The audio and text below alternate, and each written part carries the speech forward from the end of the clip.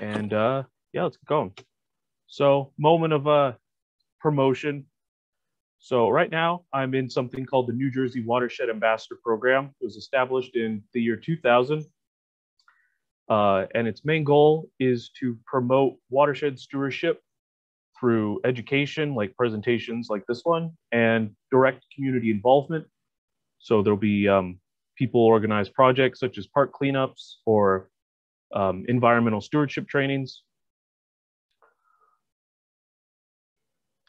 So luckily for me, watershed stewardship means pretty much anything that it has to do with the environment. So I can come here and talk about things like stream assessments or wetland animals. But we're here today to talk about trails. So benefits of trails, pretty self-explanatory. Um, good places to walk, hike, bike. Uh, they're free. So, well, there are a lot of free trails out there. Gym memberships getting pretty expensive. Um, so benefits to the public health. They also, trails also do a good job of protecting environmental sites um, by giving a site that might not benefit the public as much, uh, multiple uses making it more palatable for, say, a town or something to be willing to pay to maintain it. Um, it also connects fragmented environments, giving animals these preserved spaces, giving animals ways to move across otherwise urbanized environments. Um, transportation, uh, they do like you can travel on trails. I know that with gas going over four dollars a gallon, might be time to pull out the bike and see what trail pops out near where I'm hosted. And uh, just like they can be trails can be used to give environmental sites multiple uses, they can also be used to give historical sites multiple uses. Um, I know that at Kittatinny Valley State Park, the rails to trails that go through there, there's a stone cut, and they have a little history placard out where apparently it filled up with snow in the early 1900s, and the whole town got together to dig it out. So trails are good for preserving sites like that. Um, so when you're designing a trail, you're going to want to design it to be sustainable. And there are five main principles that you want to remember. And that is um, the trail is authorized. It's been through the various legal processes that it takes to authorize a trail. Um, you've gotten the agreement of all landowners. This can get really complicated um, when you're dealing with a mix of federal or public land, um, private property. Just in New Jersey, there's the Office of Natural Land Management, the Recreational Trail Program, the New Jersey's Trail Program, the North Jersey Transportation Planning Authority. Um, so you can be dealing with a lot of pro- different processes or different um, stakeholders when you're trying to plan these. Um, it needs to be well designed. That means that a professional has gotten involved. Um, it needs to have a clear purpose. Like you need to go into this um, with a principle, with a uh, target audience, um,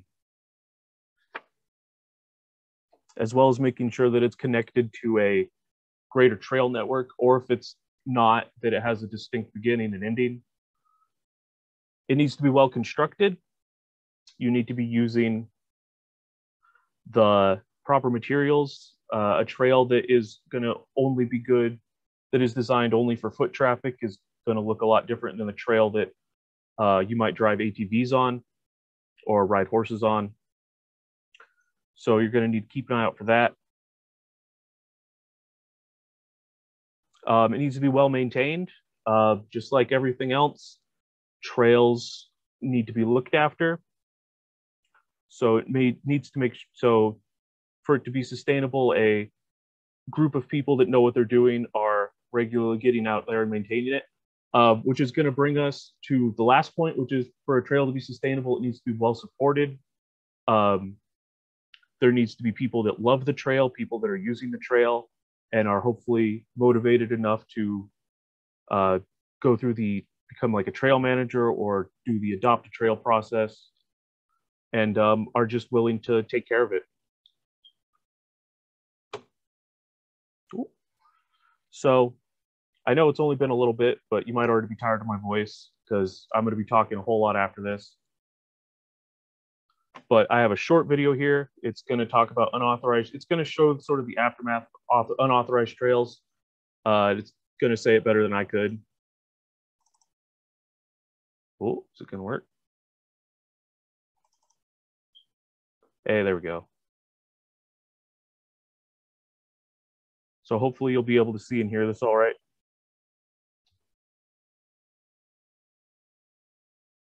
Hmm.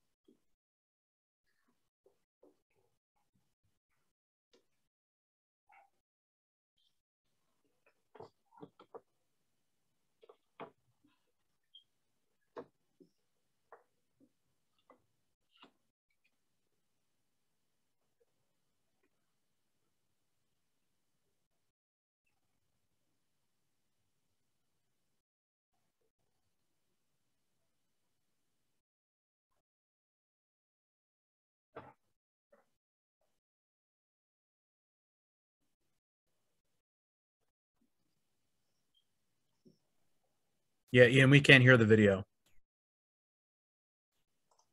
I'm sorry, can't hear me? We can't hear the video. Oh. At least Were you able I to hear can't.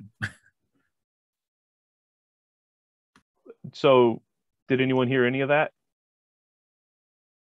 Oh, that's unfortunate. Um Hmm.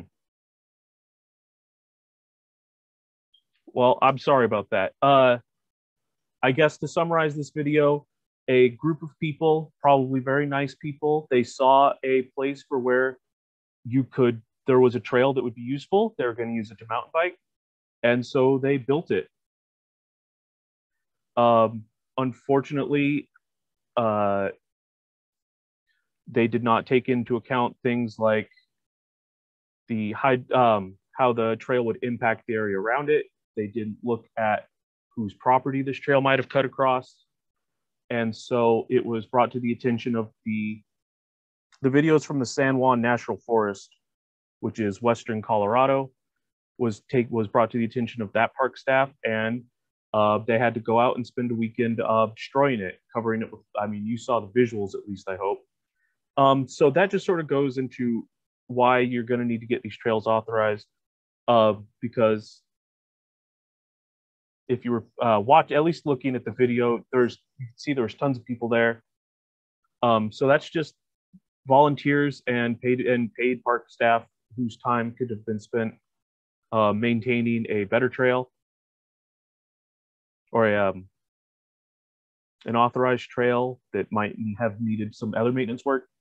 Uh, it can affect the views of the people who own the property near where a trail might go in um, after experience a situation like this, a private property owner might not um, be quite so willing to authorize it a second time.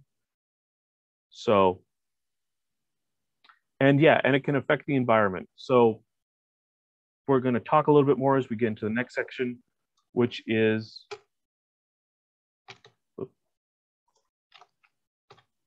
so the parts of the trail. So just like a road or sidewalk, um, you can break trails down into these parts. And what we're first looking at here is the trail corridor. So that's both the area you're walking in, you're going to be walking on, as well as uh, some headroom and space to the left and right. And that's going to be different for depending on which trail you happen to be on. I know that for the Appalachian, Appalachian Trail, their trail corridor is four feet wide and eight feet tall. So when they're doing maintenance, they're making sure that uh, branches aren't sticking into that corridor, that there isn't, even if it's six, seven feet off the ground, uh, that logs that have fallen into that area are rolled off. So that's the trail corridor. There's also the tread, which is the area that you walk on. And what people are going to try and do who are building these trails is they're going to try and slope it um, by about six to eight degrees downhill. And that is going to encourage water to, instead of following this trail like it's some sort of riverbed, it's going to continue following the hill and flow off the trail, hopefully cutting down on the erosion. Um, on a flat trail that they might raise the center so it's domed like a street so that water runs off to the sides instead of pooling on the trail. And this used to be two slides, but there's not really a lot to say about it, so I combine them. Uh, if you're talking about the back slope, you're talking about the area that's uphill of the trail. And if you're talking about the fill slope, you're talking about downhill. Um, we'll discuss later, not all trails have a fill slope, but um, we'll get more into that in a minute. Um, so the edge of the outer side of the trail, I guess you'd call the part that looks out downhill, um, is called the critical edge. And it's called critical because uh, most trails fail along this edge as water uh, runs across it or down it, it'll start to wear that side away first and it's the most exposed area. And so at about the same on the uphill side, you have what's called the hinge point on the edge of the tread, and that's going to set your slope. That's going to set the uh, slope of the tread and will really just um, encourage water to flow across the trail and continue downhill instead of either pooling on the trail or following it, following along it, causing the middle to rot out.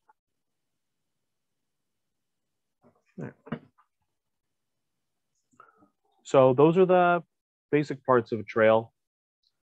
Um, so at this point, we're going to start getting into how you how you start to build one. So your first step is you're going to, well, your first step is that you've planned the trail and gotten it properly authorized. Um, but one, the actual feet on the ground first step is you're going to put flags to delineate the path that the trail will follow. And you're going to want, and most trails are either going to flag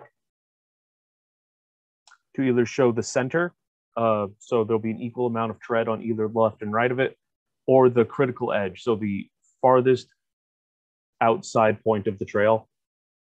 Um, and these photos are sort of before and after. You can see that they started with some flagging and then excavated out that trail out of that hillside.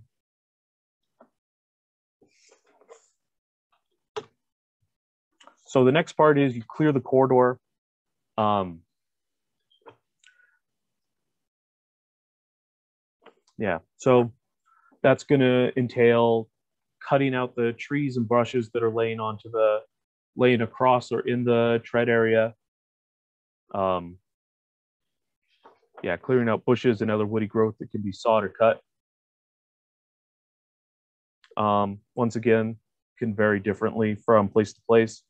Uh, when you do have finish with this part you have your cuttings, uh, it's suggested that you do something to spread it out or hide it so that it can't be seen from the trail.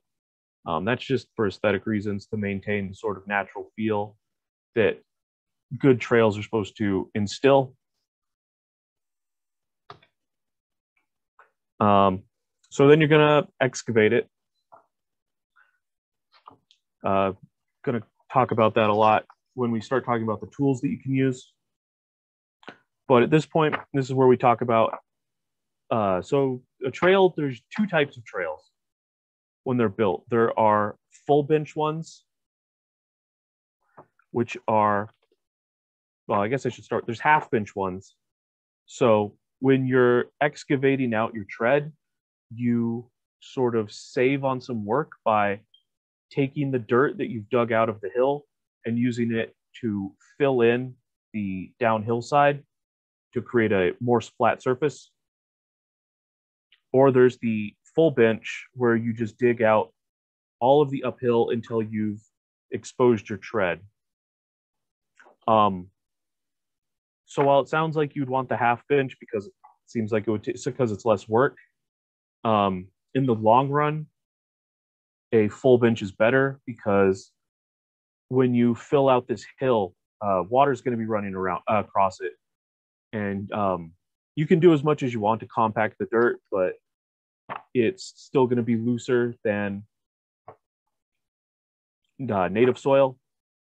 So it's going to erode faster and you're going to have to do more work to keep it filled in. So when it is possible, most people prefer to build the full bench trail.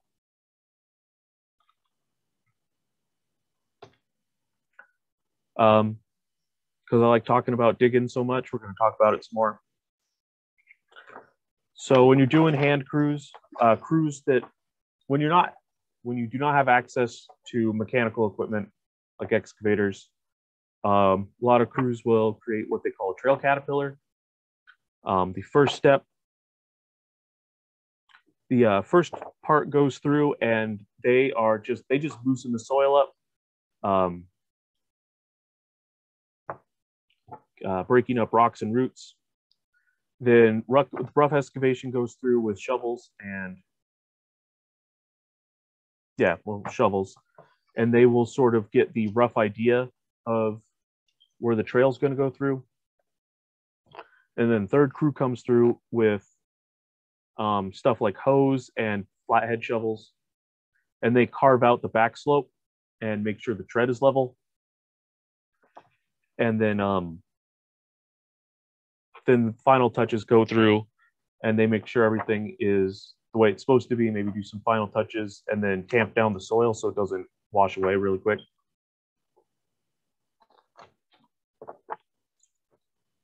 So yeah, to get all of that done, you're going to need a bunch of tools. So we're going to go through some of the more, uh, well, we're going to go through all of them, but some more of the exotic ones have their own slide.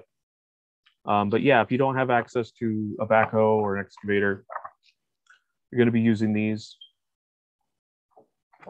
So loppers and handsaws, you're going to use them to get rid of the woody debris.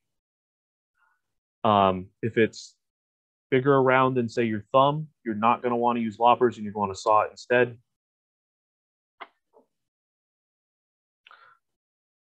Um, bunch of different types of shovels. Each one has its own use.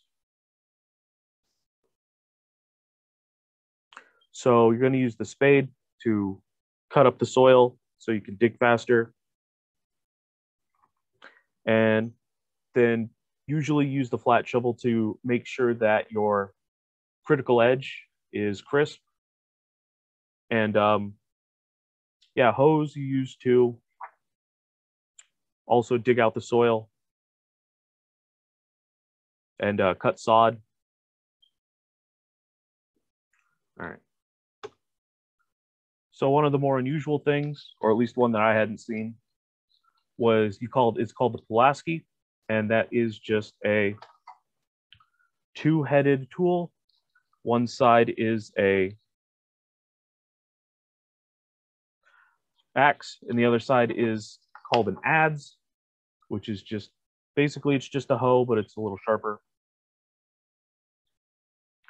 And you use this to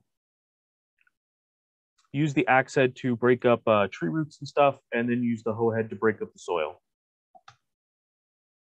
Then you got your mattock. You use that to use the pick side to loosen the compact soil and pry out some of the smaller embedded rocks. And then you can use the cutter side for loosening the soil. Uh, well, use the the hoe side for loosening the soil, and you can use the axe head if you happen to find yourself with a cutter Cuttermatic for cut up roots. So I have it on fairly good authority. This is pronounced McLeod. Um, and it's basically just a thick, a thick rake. And you can use that to rake, um, sort of rake the soil level or remove duff, which is that sort of earthy uh, organic layer. It's mulchy, it's got leaves.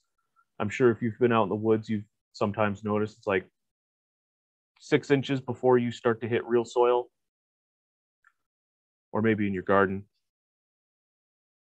And then that you can sort of use that flatter, um, the sharp backside to cut through roots and sod. Make sure you're raking well. Ooh. Maybe I should have made this longer. I feel like I'm flying through it. Um, so you've designed your trail, you've built your trail. Um, now it's time for maintenance. So a trail is going to need maintenance uh, annually, and it's going to start with an assessment. Excuse me. So um, this is assuming that you're working with a trail group or a land manager. And they're going to have their own outlines for what you should be looking for and what their specific requirements are.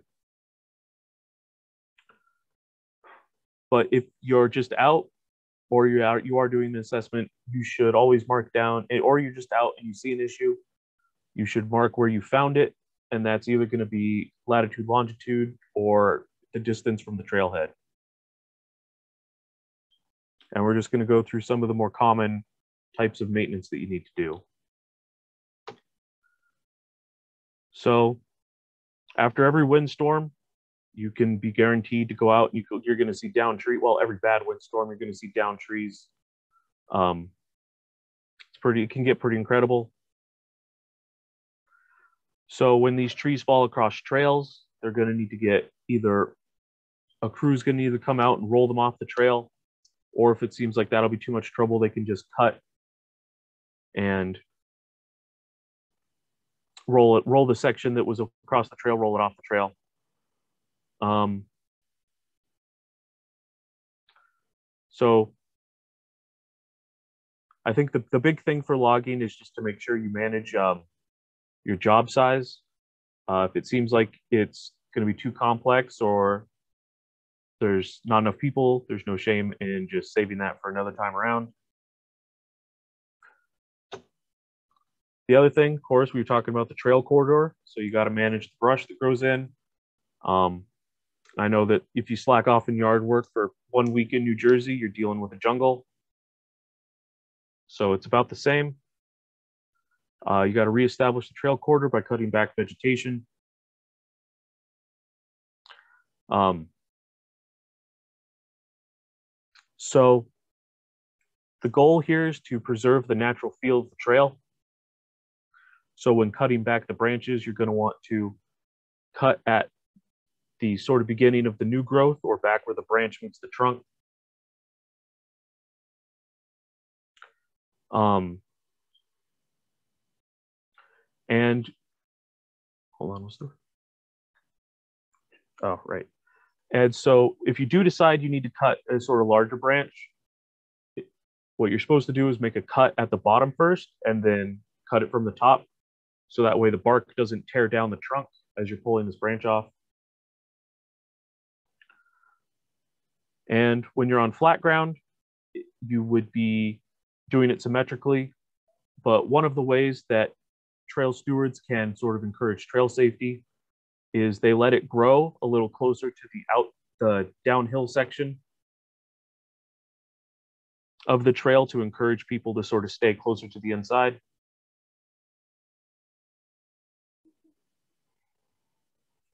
So point three is you want to avoid flagpoles and stobs. So a flagpole is where you've pruned a tree out of the trail corridor and you realize that you've more or less taken off half the tree. Um, at that point, it you hopefully you would have caught something if it's a well-established tree. Hopefully you would have caught something like that in planting. Um, but if you do run into that at that point, um, it's mostly advised to just take the tree out, or I guess you can or reroute the trail, but they suggest just removing the tree. And stobs are when you've pruned smaller trees. You got to make sure to cut them as close as you can to the dirt. Otherwise, you're going to be leaving these small tripping hazards, basically. If anyone falls on them, it can be dangerous.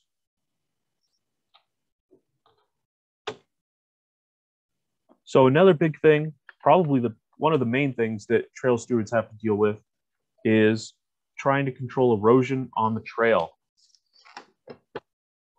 So no matter how well constructed your trail is, as water's running down it, it's going to start to soil is it's going the water is going to pick up soil as it runs across the trail. Uh, we were talking about slanting it to encourage that, but any of it is going to any amount is going to slowly erode the trail. So you end up with these two zones, which is if you look at this picture on the uphill side, that hinge section starts to deteriorate and leads to something called slough. Wait.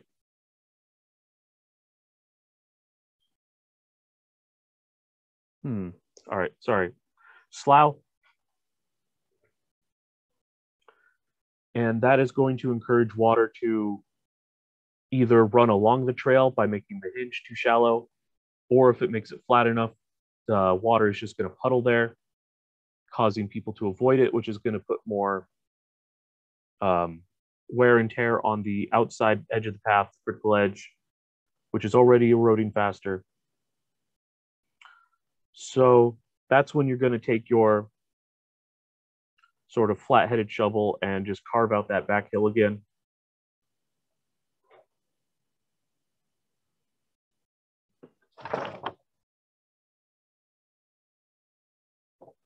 So another point is sometimes a berm will form from soil getting left as the water flows downhill. Um, larger sediment can fall out of it, creating a berm. And what's that going to do? What that's going to do is encourage water to follow the trail, to flow down it as if it was a riverbed or something. And that is eventually going to, that's going to completely change um, sort of the hydro the hydrological layout of this area that this trail is on, which can impact things such as how much rain a stream gets, which might cause it to dry up, at least for a little bit. So that's when you're going to take your either. I believe I have some suggestions for tools. Um, you can just use a rake if it's not compacted. You can um, just drag it. You can just drag the dirt down the hillside to spread it back out. Uh, just make sure that that critical edge is nice and clean. All right, so blazing. So I might have I might have focused too much on this one. I don't know how much blazing people are going to be doing. Um, but there's bunches of different types of blazes. There's paint blazes, um, which is what I'm familiar with. There's plastic tags, which I've also seen. Um, there's cairns, which are stacks of rocks. Uh, you probably won't see a lot of those in New Jersey, but maybe if you're hiking and you're way, way out there, you might see one. Um, and just some rules for placing them. So every place is going to have their own rules, but generally, if you're going to signal a turn, you're going to want to signal it a bit beforehand, uh, and then place a and then place a sort of a confirming blaze a little bit after the turn so people know that they're still on the same trail. Um, yeah. You want to blaze close enough to each other that from the one that you're at, you can see the next one. And you're going to want to keep them at about eye level uh, and on light colored bark. You're going to want to avoid putting them on rocks.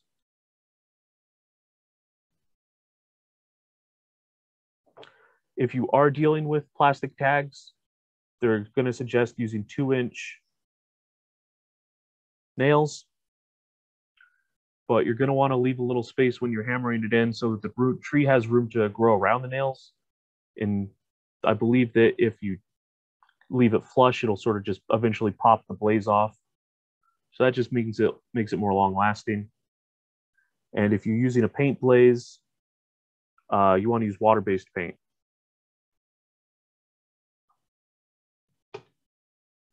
All right, so I've been talking about a lot of different stuff, but throughout all of this, you're going to want to make sure to do safety in every part. So that can mean making sure you're dressed appropriately and using the correct PPE. So usually you're going to want to be using boots, long pants. Um, I know that we've all gotten a little too familiar with the term PPE over the last couple years, but in this case, we're talking about stuff like gloves, uh, safety goggles. Um, even if you don't think you use, even if you don't think you need safety goggles, you should probably put some on. I just recently was doing an invasive species removal, um, which is pruners and hand saws, and somebody got whipped in the eye with a vine. So it never pays. It it never doesn't pay to be careful. Um, but it can also mean stuff like sunscreen, making sure you have making sure you have water with you usually if you're working outside or lunch. Um, you're going to want to discuss safety with organizers or other volunteers before you start. That can be just whose cell phone has coverage. I know things can get pretty spotty out there. Uh, who knows CPR, what the plan is if there's an accident.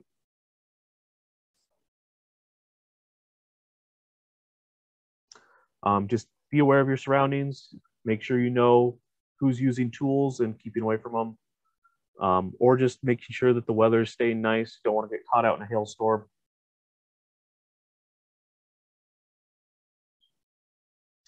And just, yeah, you're going to want to be careful with your tools. Um, so for there's something called the blood bubble, gruesome, I know, and that is the sort of bubble that's around somebody using a tool, which it's safe to approach, like how far away you want to stay from somebody while they're swinging a tool around, and that is generally two times the length of the the reach of the instrument. And you're just going to want to communicate. See if anything's wrong, say so. Or if you just want to talk to somebody about how good you're feeling, that's fine too. Hopefully, you're having fun out there.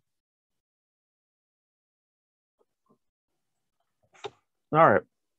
So I don't really have a good track of time and I don't have any clocks on this side, but uh, just take a couple of minutes to talk about. So I just went through all this stuff that you can do, and now it's time to find out. So, what are places where you can actually get involved? Um, first big one for me is state parks. They have a volunteer form right on their website. Or if you just go in and ask them, all the park rangers are really, all the naturalists and park rangers really nice. Um, I included a link. I don't, maybe, maybe uh, that can get dropped in the chat. I'm not sure if anyone's interested. There's volunteer.gov, which compiles volunteer opportunities statewide. They do have a trail stewardship one, a trail stewardship category. I couldn't find anything in New Jersey, but it's just one of those ones that if you're interested, you'll have to check a couple times. Um, there's the D&R Greenway Land Trust. Uh, I've posted a blurb from their website.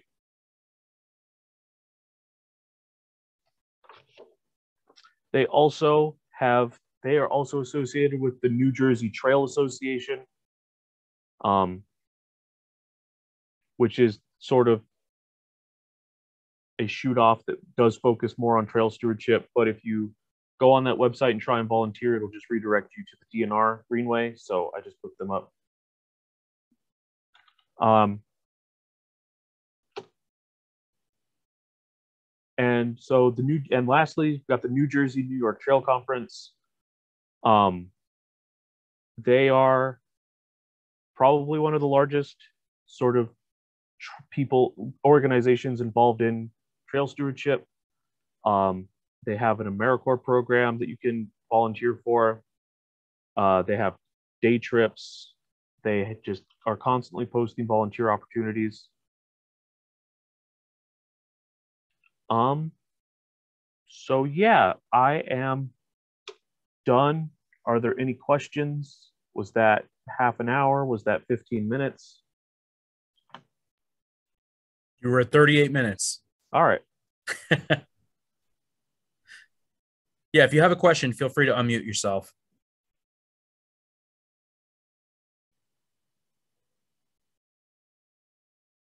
Oh, you may get easy off